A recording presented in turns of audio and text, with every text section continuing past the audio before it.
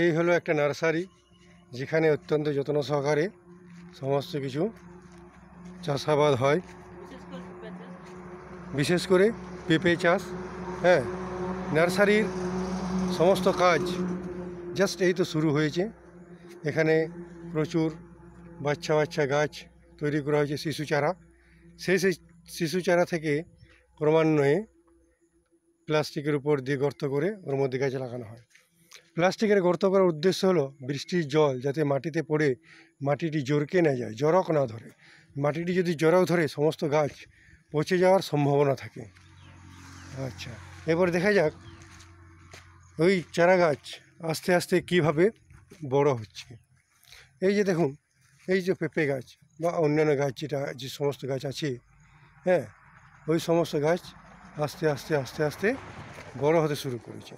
এই গাছগুলির বয়স বর্তমানে দু মাস। হ্যাঁ এই মাস চলছে আগস্ট মাস। আজ আগস্ট মাসের চোদ্দ তারিখ। তার দু মাস আগে জুলাই, জুন, জুলাই বা জুন, জুলাইয়ের পনেরো, ষোলো এরকম তারিখে এই গাছগুলি লাগানো হয়েছিল। বর্তমানে এই গাছগুলি এই অবস্থায় আছে। খুব সুন্দরভাবে যদি আমরা এই পেঁপে চাষ করি অনায়াসে আমাদের অভাব দূর হতে পারে। অর্থাৎ এই পেঁপে গাছ থেকে যে পেঁপে ধরবে সে পেঁপে বাজারে বিক্রি করে আমরা প্রচুর টাকা রোজগার করতে পারি। মোটামুটি এই যে জায়গাটি আছে এই জায়গাটি পরিমাণ কত হতে পারে? ভাইপো এই জায়গাটির পরিমাণ কত? দু বিঘে জমি দু বিঘে জমির উপর মোটামুটি কত সংখ্যক আছে? চারা গাছ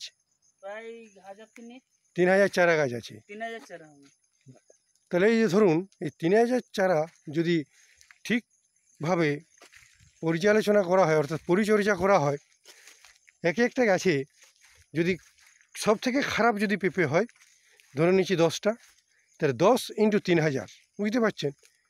আর এইটি প্রচুর সংখ্যা পরিমাণে আমরা পেঁপে পেতে পারি। তাছাড়া পেঁপে কম বেশি সারা বছর ধরে পাওয়া যায়। তাহলে বুঝতে পারছেন বন্ধুরা, আমরা চাইছি যে আমাদের এই চ্যানেলের মাধ্যমে আপনারা সবাই উপকৃত হন। আমরা যদি আপনাদের এক পার্সেন্টও উপকার করতে পারি, তাহলে আমরা নিজেদিকে ধন্য বলে মনে করব।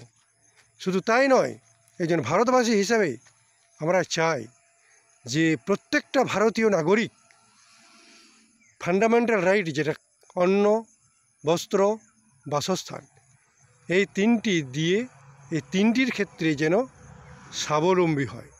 আপনি যদি স্বাবলম্বী হন, আপনার ঘর স্বাবলম্বী হবে।